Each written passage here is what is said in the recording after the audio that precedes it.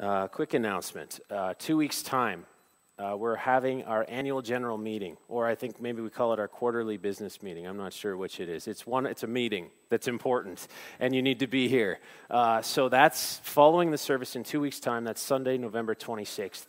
Annual general meeting. Please make note of that in your calendars so that you can join us for that. We're going to be discussing some important church business and anticipating uh, some really exciting things that, that God is doing here as we move forward and get ready for 2018. Wow.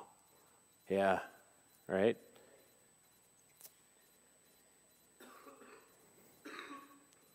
I'm, I'm praying this morning for, uh, for grace here and for, for protection. Um, the, the, the message this morning is, is a tough one. And uh, I better just say this that there's going to be some content that may, might not be suitable for, for younger people. Um, it won't be explicit, but it's important that we cover some of the things and that I say some of the things that I will be saying. So uh, I just want to give you that, that heads up. Uh, I want to start here in Ephesians 6. And uh, Paul says this Ephesians 6, verse 10, he says, Finally, be strong in the Lord and in his mighty power. Put on the full armor of God so that you can take your stand against the devil's schemes. For our struggle is not against flesh and blood, but against the rulers, against the authorities, against the powers of this dark world, and against the spiritual forces of evil in the heavenly realms. In verse 13, he says, Therefore, put on the full armor of God, so that when the day of evil comes, you may be able to stand your ground, and after you have done everything, to stand.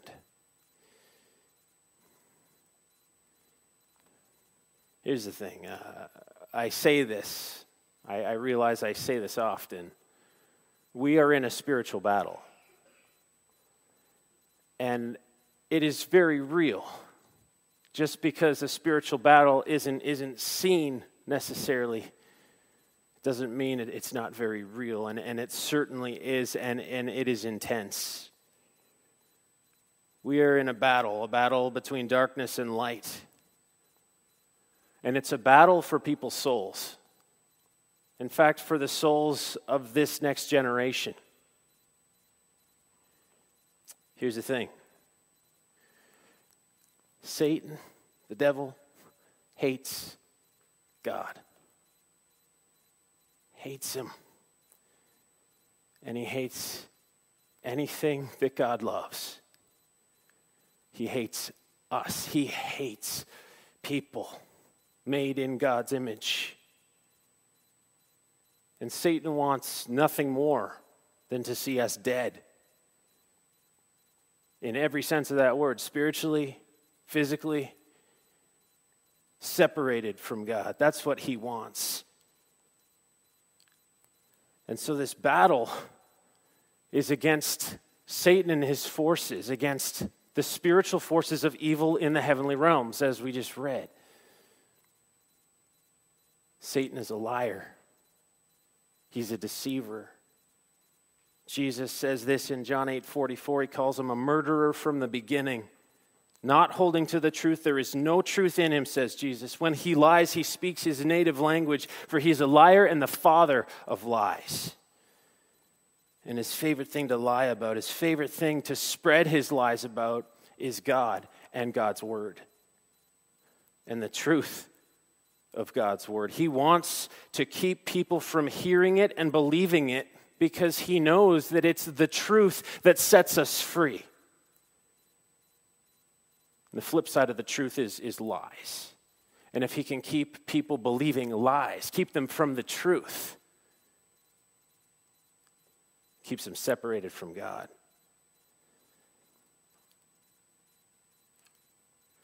We see Satan's tactic right from the get go in Genesis. In Genesis chapter 3, we see this the serpent was more crafty than any of the wild animals the Lord God had made. He said to the woman, Did God really say?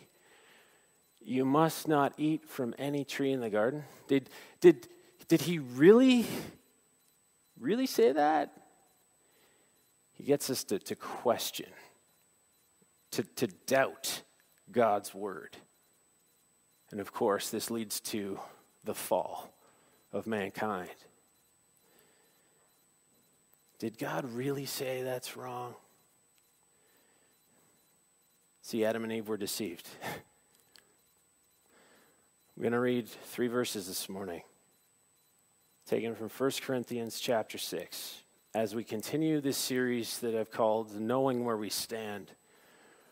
I'm going to read this from the New King James Version because I think this is a, a very accurate translation of the original here, and I'm, I'm going to read this to you. Do you not know, writes Paul, that the unrighteous will not inherit the kingdom of God. Do not be deceived. Neither fornicators, nor idolaters, nor adulterers, nor homosexuals, nor sodomites, nor thieves, nor the covetous, nor drunkards, nor revilers, nor swindlers will inherit the kingdom of God. And such were some of you. But you were washed, you were sanctified you were justified in the name of the Lord Jesus and by the Spirit of our God. May the Lord add his blessing to the reading of his word this morning. This is a, an important passage in the Bible. They all are, but, but this one has great significance. Why? Because of the stakes. The stakes are high here. In these verses, Paul lists a series of sins which can disqualify a person from the kingdom of God. And did you notice his warning? Do not be deceived. Do not be deceived. All of the sins listed in these verses are, are rampant today. But there is one that stands out from the rest. And it's unlike any of the others listed here, but not because it's worse or not because Paul gives it special emphasis, because he does not.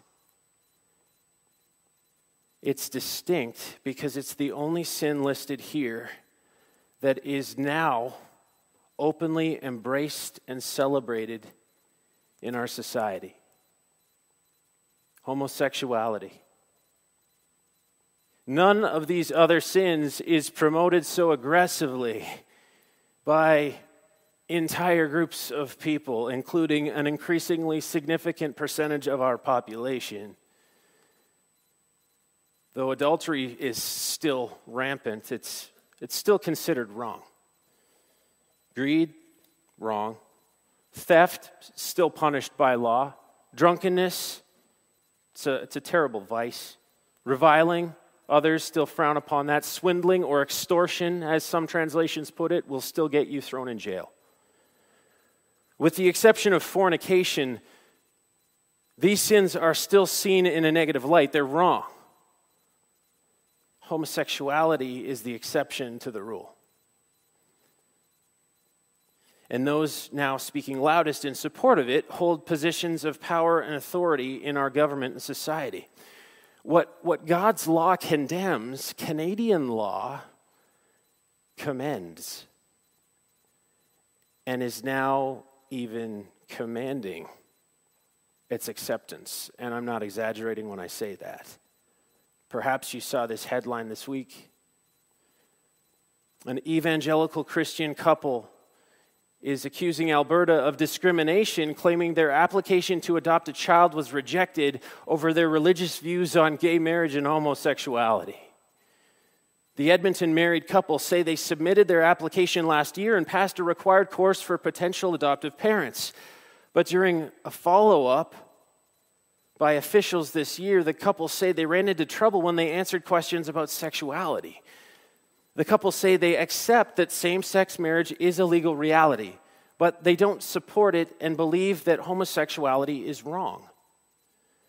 The casework supervisor explained that our religious beliefs regarding sexuality were incompatible with the adoption process, says an affidavit filed in support of an application for a judicial review of the government's decision. The casework supervisor said this stance was the official position of the Alberta government. The province of Alberta requires citizens to profess agreement with and support for its state sanctioned beliefs in sexuality and gender. And of course, there's the Trinity Western University case. Perhaps you've heard of this one, and this is an important one. In a legal battle that's been going on since 2014, Trinity Western University was denied accreditation of its law school because the school requires students to sign a community cover- covenant, which includes a commitment to reserve sexual intimacy to the marriage of one man and one woman. And they sign that. It's a Christian school. This battle for accreditation has been played out across Canada, with the Federation of Law Societies of Canada affirming the accreditation, while three of its members, including the Court of Appeal for Ontario, dissented, saying they would not accredit the school. Sunday, November 26th, in two weeks' time, will be a day set apart to pray for the successful resolution of the Trinity Western University case, which will be heard in the Supreme Court of Canada on November 30th and December 1st. The stakes are high. Our religious freedom is at stake. And, and, so, even more, more, more than ever, ever before in history, it is important that as followers of Jesus Christ, we know where we stand and we stand up for what we know the, the clear teaching of God's Word. Because you see, it's not just the government and the media that's bought into this agenda, the church has to. In fact, many, many churches. And I'm not just talking about liberal, left wing, theologically liberal churches, I'm talking about evangelical churches, including churches in our own denomination. How did this happen? How, how, did, how did we get here? You remember what Satan did in the garden with Eve? Same tactic. Does God really, really say that? Is it, is it really wrong? I mean, can it be a good thing in the context of, of a loving, committed relationship? Maybe we got it wrong. Maybe we need to re examine and, and reinterpret what we, what we think we know, God's word says. And so now, there are many voices within evangelicalism attempting to marginalize and, and relativize those passages of Scripture that deal specifically with homosexuality. And there are six of them, six primary passages. There's the uh, creation account in Genesis 1 and 2, the Sodom account in Genesis 19, the holiness code in Leviticus 18 and 20, Paul's letter to the Romans, a few verses there in Romans 1, Paul's letter to the church at Corinth that we'll be looking at today, Rome, uh, 1 Corinthians 6, 9 and 10, and of course 1 Timothy 1:10, Paul's letter to Timothy. These emerging voices within evangelicalism are arguing that the Bible does not have a comprehensive perspective on homosexuality. The only references to it are in the context, or sorry, are not in the context of loving relationships, they argue. Those six passages addressing homosexuality uh, are only prohibiting violent and abusive homosexual behavior. And this is now the most widely accepted argument held today amongst evangelicals who support this. The Bible never directly addresses and certainly does not condemn loving, committed same sex relationships, they will argue. Matthew Vines, who is one of the leading proponents for the gay Christian movement today, he said this. He's written a book, by the way, called God and the Gay Christian. And here's what he says the Bible is simply not referring to committed homosexual relationships. The only place in Scripture where male same sex relations are actually prohibited in Leviticus comes in the context of an Old Testament law code that is never applied to Christians. The Bible never directly addresses, and it certainly does not condemn loving, committed same sex relationships. How, how does he get that? Well, I just want to take a look at this argument for a moment because there's some major problems with it. When it comes to 1 Corinthians 6, the argument goes, and back there it is again, so you can look at it. The argument goes like this Paul only understood homosexuality in terms of the violent and abusive examples in the Old Testament, with specific reference to Sodom and Gomorrah in Genesis 19.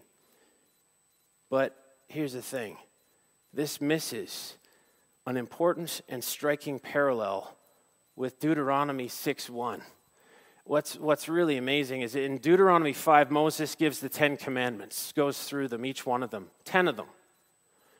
And then he gets to, to chapter 6, 1, and we read this. Now, this is the commandment, summing it up, and these are the statutes and judgments which the Lord your God has commanded to teach you, so that you may observe them in the land which you are crossing over to inherit. The word inherit is the same word that Paul uses in 1 Corinthians 6, 9, and 11. And he uses the same sort of structure. Moses has his list of 10. Paul has a representative list of, of 10 sins, not a comprehensive list. That's not the purpose of it. But he's trying to suggest something I think that's very important we realize that God's people, people of the kingdom of God, Old Testament and New, have a code to live by. There is a standard, a holy standard for us.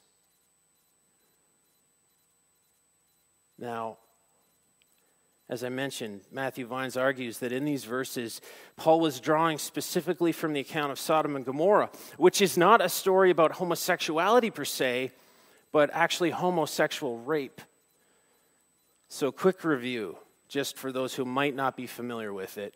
This is fast here. In Genesis 19, God sent two angels to warn Abraham's nephew Lot about the coming destruction of Sodom.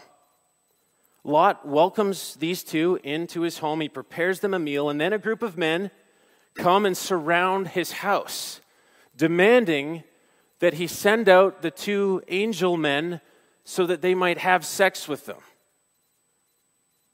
And Lot, of course, refuses to do that. As the story goes, they end up getting ready to break into the house to take these men forcibly.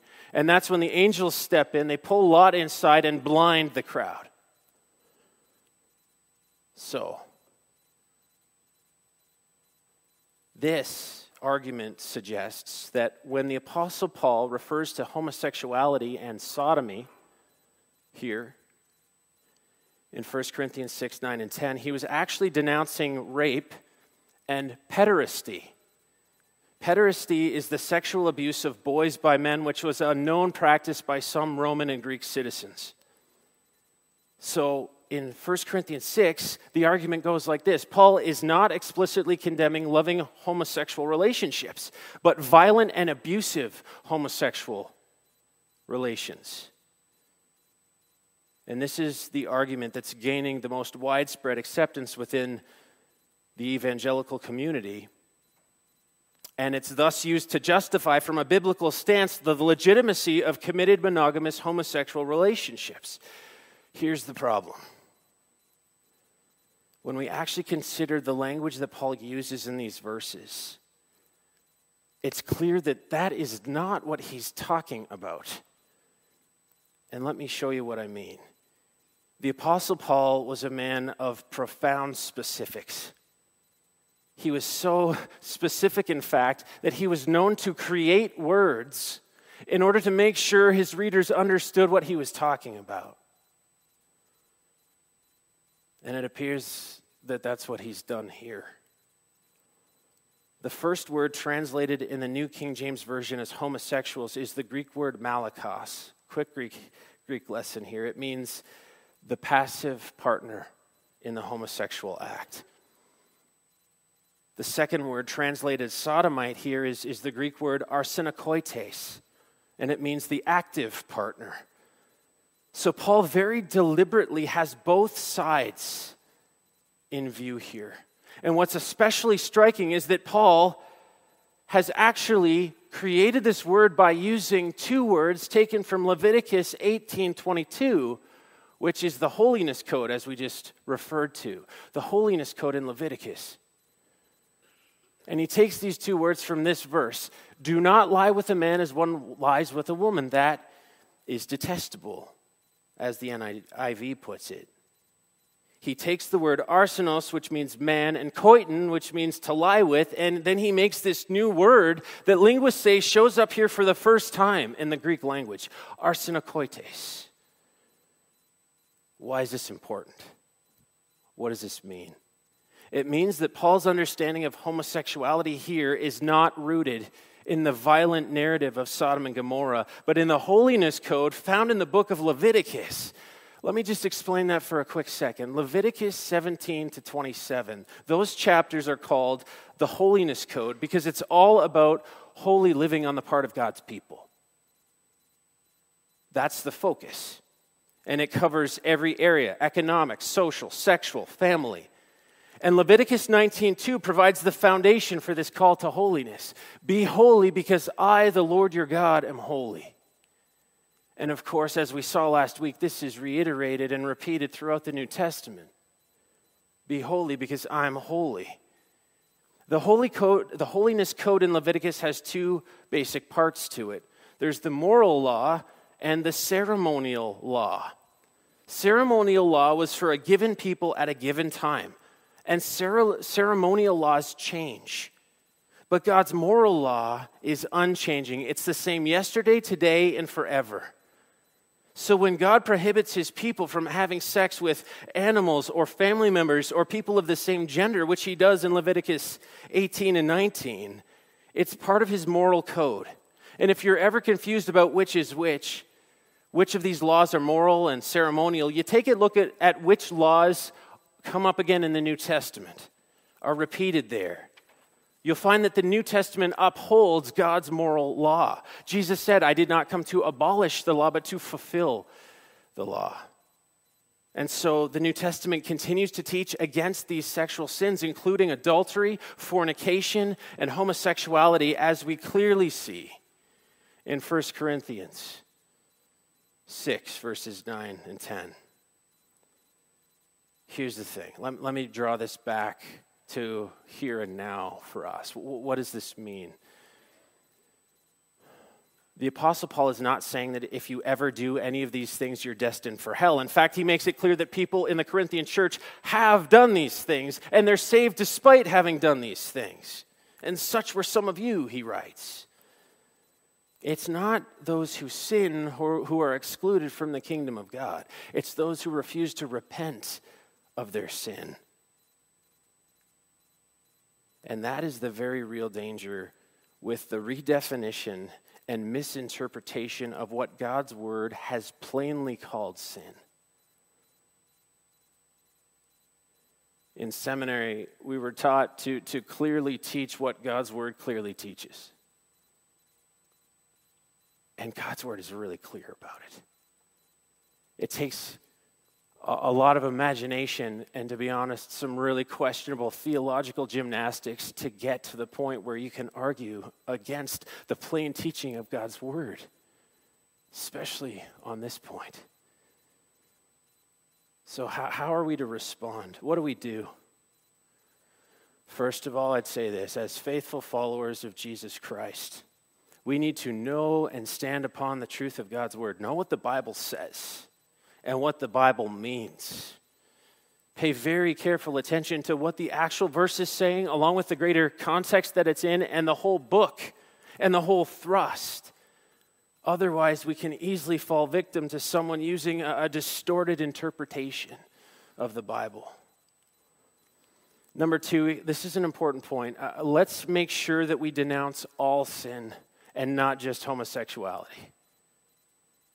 That's important. Let me be clear about something. This passage is not exclusively about homosexuality. It's not. In fact, it's just one of many. 1 Corinthians 6 9 to 11, I think, is a good representation of the way Scripture presents homosexuality.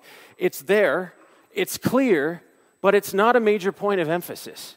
It's really not.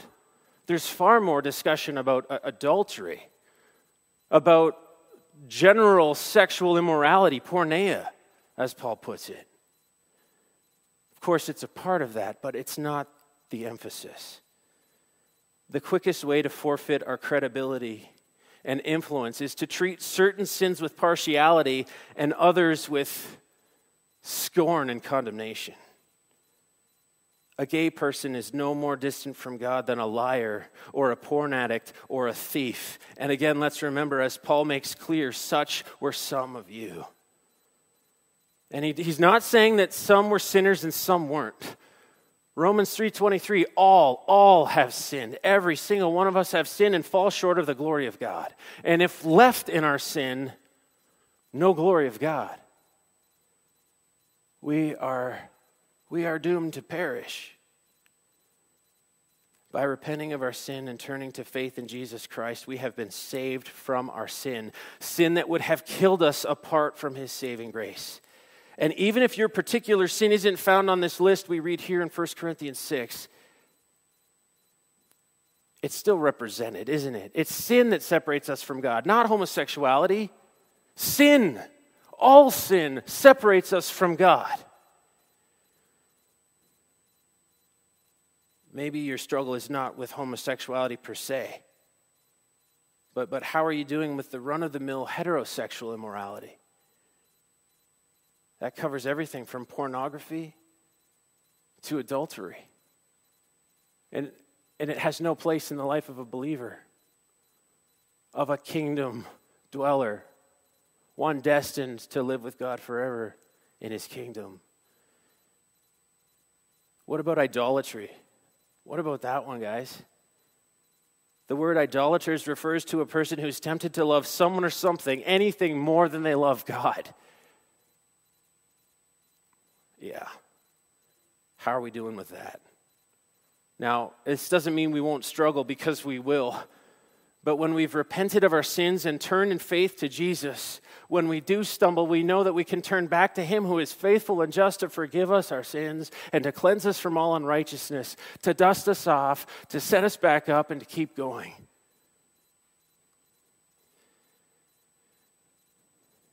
See, 1 Corinthians 6 is not targeting homosexuality it's targeting sin. And it's saying that those who persist in any sinful behavior give evidence that they have not repented of their sins. And until they do, they cannot enter the kingdom of God. My, my last point is this how do we respond then? This is so real and so personal for so many of us. We respond as Jesus did we love. As Christians, we must believe with deep sincerity, based on the clear truth of God's word, that the embrace of homosexual practice, along with all other sin, keeps people out of God's kingdom. And so, if our society celebrates it, we cannot celebrate with them. Because Jesus suffered and died to set us free from sin, all sin, even the sin that they don't call sin. It's sin. So we can't love and keep quiet. We have to speak the truth in love. As we talked about last week, there's just too much at stake. People's souls hang in the balance. Do we get that? The spiritual battle is real. Christians must be against any and all sin, sin that enslaves and leads to death. The thing is, homosexuality is just getting a lot of the press because at this moment in our cultural history, it's the main sin that, that's just embraced and, and, and endorsed in our context. Some people would like to see this whole issue of homosexuality divided into two groups. There, there's those who, who celebrate it and those who hate it, and there's, there's no in between. You could put it this way those who laud it and those who loathe it. But if the church does either of those things, it ceases to function biblically. God's intention for the church has always been that we would be a particular people, so particular, in fact, that, that we would appear to be called out from the rest of society and culture. That's what the Greek word ecclesia means those called out, set apart, different.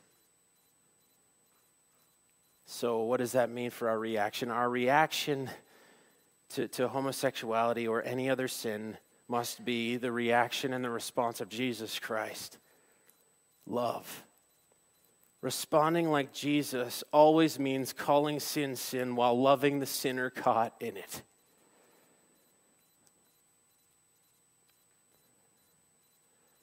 In John 8, verses 10 and 11, when the woman is caught in adultery, after Jesus shames those trying to point the finger at her and, and have her stoned, and after they leave, they have this interaction. Jesus says to her, Woman, where are they? Has no one condemned you? No one, sir, she said. Then neither do I condemn you, Jesus declared. Go now and leave your life of sin. Wow, what a, what a brilliant, loving response to someone caught in sexual sin. Jesus calls it what it is, but then invites her to live an entirely different new life, to turn from it in faith to God. See, what we have in 1 Corinthians 6 9 to 11 is actually a passage of supreme hope. Look at how Paul ends this, this passage in verse 11. And such were some of you, but you were washed, you were sanctified, you were justified in the name of the Lord Jesus and by the Spirit of our God. We have something to say that no one else can say. You're wrong and you're loved. I read that this week on, on John Piper's website. You're wrong and you're loved. No one else can say that. No one else can show that. We must love as Christ has commanded us to love. Neither do I condemn you, therefore go and sin no more. Let's pray. Our gracious Heavenly Father, God, I thank you for your word today. As, as difficult God, as it is sometimes to, to read and to understand what we're reading, God, and, and to, to try to make those connections and, and those applications to our life, a life that is to be obedient, Father God. We thank you for some clarity today, Father. And it doesn't make it easier. In fact, it makes it harder. But Lord God, we, we know that we're not called to an easy path, but to a hard one, Lord. Help us to obey. Help us to trust and to obey. Help us to love others as you so loved us. Father God, help us to speak the truth in love because love rejoices with the truth. It doesn't delight in evil. So, Father God, help us to be faithful followers of Jesus Christ, to call others to the life that you've called us to where we're forgiven and set free, where we've turned our backs on sin in faith to you, the God who so loved this world. I ask these things in Jesus' name. Amen.